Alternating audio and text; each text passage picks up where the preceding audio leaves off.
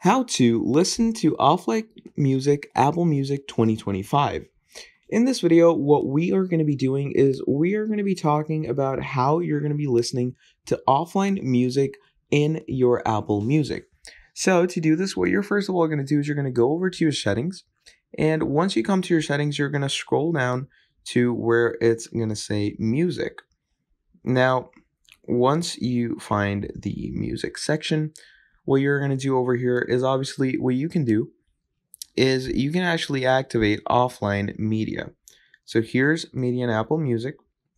And here it's going to ask you if you want to go ahead and show available offline media. And in some cases, Apple Music might not be activated for you, so you can go ahead and have it activated from this section. But generally, what you do is just go over to your settings and you make sure that show Apple Music offline is turned on, which is obviously appearing in their settings. And once that is turned on, go ahead and listen to your music freely. And what happens is once you turn the music on from there, it actually appears in your files in an offline matter. So as you can see over here, I have songs in my offline files. So I can go ahead and listen to them all I want when I'm offline.